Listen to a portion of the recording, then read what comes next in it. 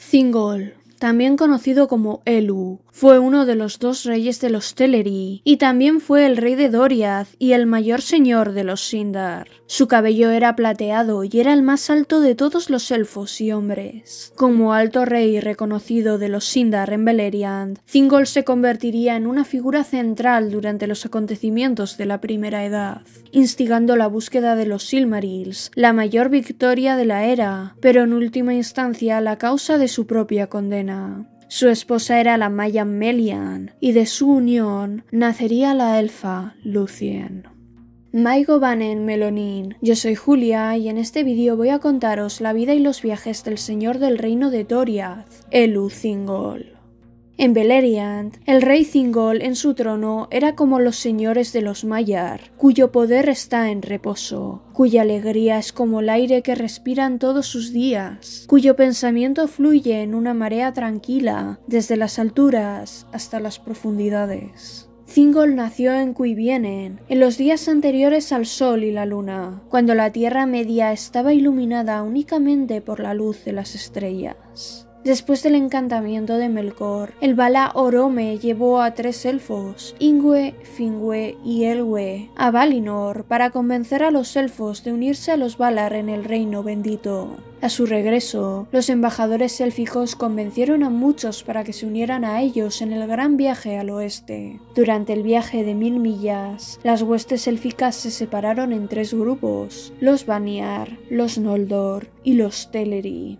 Los Teleri eran el pueblo más grande y estaban divididos en dos huestes, lideradas por Elwe y su hermano Olwe. Elwe estaba más ansioso que su hermano por volver a ver Valinor y deseaba alcanzar a los Noldor debido a su amistad con Finwë, pero los Teleri también fueron los más lentos y los últimos en llegar a las costas occidentales de la Tierra Media. Después de muchos años, los Teleri cruzaron las montañas azules y permanecieron algún tiempo en la Beleriand oriental. Durante este tiempo, en el año 1130 de la Edad de los Árboles, Elwe regresó de una reunión con su amigo Finwë y, extraviado, vagó por el bosque de Nan Elmoth, donde conoció y se enamoró de Melian la Maya. Atrapados en un encantamiento de su propia creación, Elwë y Melian no pudieron ser encontrados por los Teleri que los buscaban. Cuando los Valar regresaron para llevarse a los elfos restantes a Valinor, solo algunos de ellos siguieron a Olwe a través del Gran Mar. El resto había llegado a amar las tierras de Beleriand y se negaban a partir sin su señor desaparecido.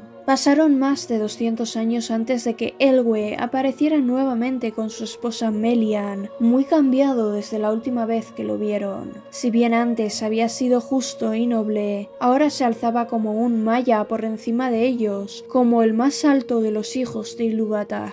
Reunió a su pueblo y fundó el reino de Doriath. Sus súbditos se convertirían en los Sindar o los elfos grises, y su idioma era el Sindarin. A partir de entonces, Elwe fue conocido como el rey Elu Thingol y reclamó señorío sobre todas las tierras de Beleriand. Mientras Thingol era el rey de los elfos grises, vio la luz de los dos árboles como embajador de los Valar, y por eso fue contado como un alto elfo, e igual a cualquier señor de los Eldar. Incluso fue reconocido como sumo rey de todos los Teleri en Beleriand, incluso después de que Doriath quedara oculto. Siguiendo el consejo de Melian, Thingol se convirtió en aliado de los enanos de Pelegost, quienes tallaron las cavernas de Menegroth para él. En pago, les entregó, junto con muchas otras cosas, la gran perla, Ninfelos. Mil años antes de la primera salida del sol y la luna, los elfos verdes entraron en Beleriand bajo el mando de Denethor. Thingol les dio la bienvenida y les dio las tierras de Osirian, a las que llamaron Lindon. Los elfos verdes hablaron de la expansión de los orcos y otras criaturas repugnantes en el norte y el este de la Tierra Media. Los elfos grises empezaron a armarse. Siglos después, Melkor regresó a la Tierra Media, ahora llamado Morgoth. Destruyó los dos árboles, mató a Finwë, el rey de los Noldor, y robó los legendarios Silmarils, buscando reclamar el dominio rápidamente. Lanzó un asalto repentino contra las tierras de los Sindar. La primera batalla de Beleriand fue bien para Thingol, quien impidió que los orcos invadieran Doriath. Pero los elfos verdes sufrieron pérdidas terribles y los Falathrim fueron asediados. Los Falathrim finalmente fueron salvados por la inesperada llegada de los Noldor, quienes lanzaron la Dagor Nuin Gilead, batalla bajo las estrellas, en la que las fuerzas de Morgoth fueron prácticamente aniquiladas. Después de la primera batalla de Beleriand, Doriath fue rodeada por el cinturón de Melian, una impenetrable valla de encantamiento que protegía el reino. Si bien su propio reino estaba protegido, Thingol todavía se resistía a entregar otras tierras en Beleriand a los Noldor, ya que sospechaba de los nuevos señores agresivos de la Tierra Media. Las relaciones del rey Thingol con los Noldor fueron tensas y empeoraron décadas después, cuando supo la verdad sobre el asesinato de sus parientes en Alcualonde. Thingol prohibió el uso del Quenya en sus tierras, lo que llevó al Sindarin a ser la lengua élfica común en la Tierra Media. El rey de Doriath se negó a ayudar a los Noldor en la guerra contra Morgoth y participó poco en la lucha en curso. Thingol y Melian tuvieron una hija, una hija llamada Lucien, de la que se dice que era la mujer más bella que jamás había existido. Lucien se enamoró de un hombre llamado Beren, y Thingol no deseaba que los dos se casaran, ya que valoraba mucho a su hija y no le agradaban los hombres. Como precio por la novia, pidió un Silmaril de la corona de Morgoth, pensando que no había manera de que Beren pudiera cumplir con esta demanda. Sin embargo, cuando Beren y Lucien regresaron de Anband, y cuando Beren le mostró la mano que le faltaba y que todavía sostenía el Silmaril en el vientre de Karkaroth, suavizó su corazón hacia él. Pronto, sin embargo, Karkaroth, en su angustia y rabia por el Silmaril que quemaba sus entrañas, atravesó el cinturón de Melian y entró en Doriath. En esa hora Thingol, junto con Beren, Mablung, Belek y Juan, el perro de Valinor, comenzaron la caza del lobo. Karkaroth finalmente fue asesinado por Juan, pero tanto Juan como Beren murieron en el proceso. Después de eso Lucien también murió, y al llegar a los salones de Mandos, le rogó a Mandos que Beren volviera a la vida. Sin embargo, estaba más allá del poder de Mandos impedir que las almas de los hombres fueran más allá de los círculos del mundo. Por ello, Ilúvatar, a través de Mangue, ofreció a Lucien y a Beren la oportunidad de volver a vivir, pero con Lucien compartiendo el don de los hombres. Ella estuvo de acuerdo, y ambos volvieron a la vida y vivieron el resto de sus segundas vidas en Tol Galen, lejos de la vista de cualquier otro mortal.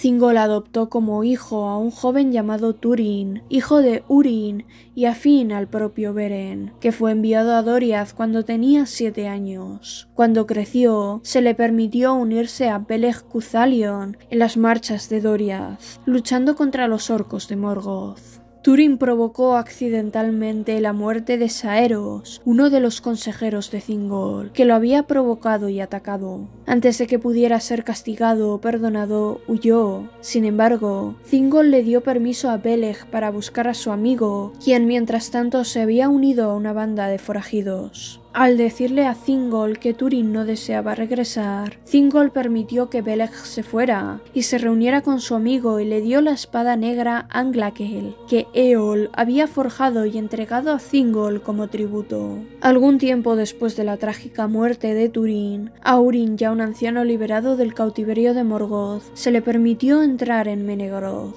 Enfadado, arrojó el Nauglamir, el tesoro de Nargothrond ante el rey Thingol, agradeciéndole amargamente por ayudar a su hijo. Melian atravesó la locura y el dolor de Urin, avergonzado por sus acciones, ofreció el Nauglamir a Thingol con sinceridad y dejó a Menegroth destrozado. En ese momento, en el corazón de Thingol surgió el deseo de tomar el Nauglamir y colocar el Silmaril en él. Fusionando así dos de las más grandes creaciones hechas por los elfos y los enanos. Contrató hábiles artesanos enanos, pero en secreto deseaba poseer ambos tesoros. Una vez completado su trabajo, los enanos se negaron a entregar el Nauglamir a Thingol, alegando de que no tenía derecho a poseer el invaluable collar hecho por sus antepasados. Al darse cuenta de que codiciaban el Silmaril, Thingol se enfureció y los insultó. Los enanos se enojaron por sus duras palabras y lo mataron.